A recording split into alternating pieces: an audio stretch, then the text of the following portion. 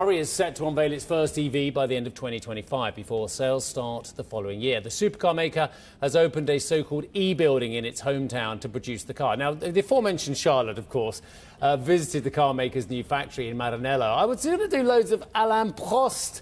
Um, references, of course, uh, he being the most famous French driver of all time. But, but you, you thwarted my ambitions by peeking over at me on the internet. So, so I I, knew won't you be were up to no comparing. You knew what I was up to. I won't be comparing you at all to Alain Prost from now on. No, certainly I didn't have like the nerves of steel you need to have in this very fast car when I was driving with the CEO. But look, quite an experience there. We're up those Italian hills to show the performance of this car. That one the one we drove was a Spider a hybrid, and you know it goes from zero to 100 kilometers per hour in under three seconds. So when it wants to go fast, Absolutely terrifying. it goes fast. By the way, I just have to say, I'd be exactly the same as you, living in fear. Yeah.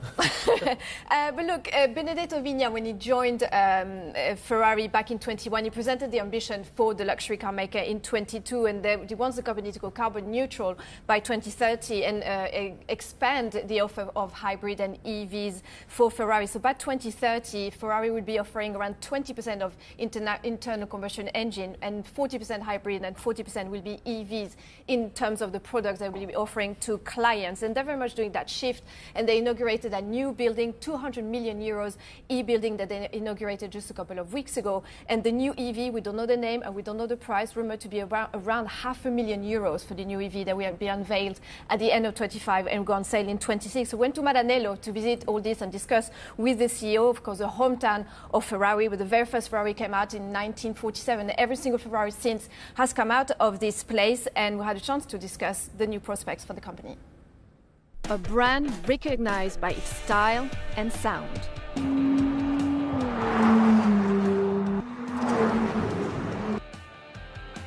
Ferrari, the historic Italian car maker, famous for its roaring engines and sleek style, is opening a new factory here in Maranello, speeding into the electrification era. And this could be a game changer for Ferrari and for the whole EV industry more widely. The building is not just an industrial building, no? it's our capability to demonstrate uh, the execution plan of our industrial building already shown during the Capital Markets Day in, uh, in June 2022. There's a really, really a blend of solutions, uh, not just uh, for uh, the actual production needs, but also for the next future. So we are designed to leave free all our R&D engineers uh, to dream the Ferrari of the futures without any manufacturing constraints. A fully electric Ferrari is expected to be released by the end of 2025. I think that we have to go electric because we have uh, to keep uh, our uh, client always engaged with their emotional side. And to do this, you can do in different ways. Okay, you can do with, uh, in the past, we were doing only with thermal cars. In the recent future, we started to engage the emotion of the client also with the hybrid propulsion. In the future, we will offer them also the possibility to have this kind of emotional feeling engagement with electric cars. So it's a way to show that emotion can come from different technologies. By 2030, the luxury car maker plans that 80% of its product portfolio will come from electric and hybrid models. if it wanted to, it could continue selling internal combustion engine vehicles. But the fact that it is pivoting towards uh, selling electric vehicles shows that they want to do this. There is a consumer appetite. Ferrari's bet on EVs comes at a time where other car makers are becoming more cautious in their demand outlook. But is it just about the cars? Can Ferrari convince even the most die-hard petrol heads to go green? The fact that you're you have a company that has such a rich heritage in internal combustion engines, the Ferrari sound, uh, pivoting towards selling in electric cars, it does showcase why electric vehicles are so attractive.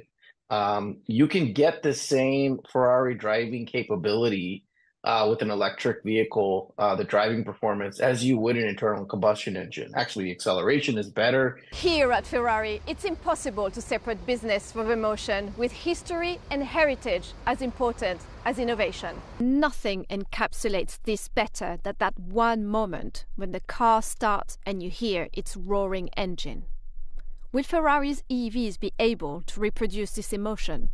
Let's start from this car. We are sitting in a nice car. This is 296. It's called 296, 2.9 liter, six cylinder hybrid. So it means that you have a thermal engine mm-hmm. and electric engine. It's nice. Very nice. Car enthusiasts will have to be patient before they can take the new Ferrari for a spin. Waiting lists are already years long. But the CEO says that this is just all part of the Ferrari experience.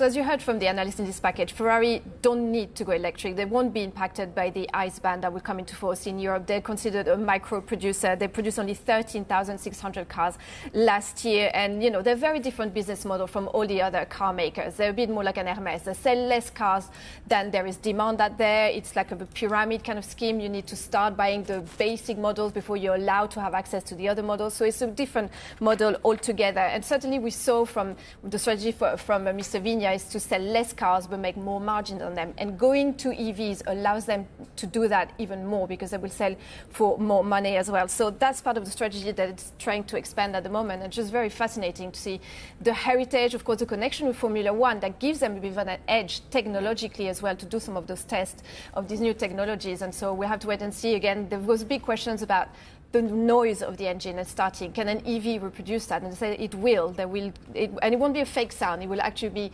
um, a mechanical sound that will come from the car. And they say we don't do fake sounds at Ferrari. It would be the real deal. Because the Taycan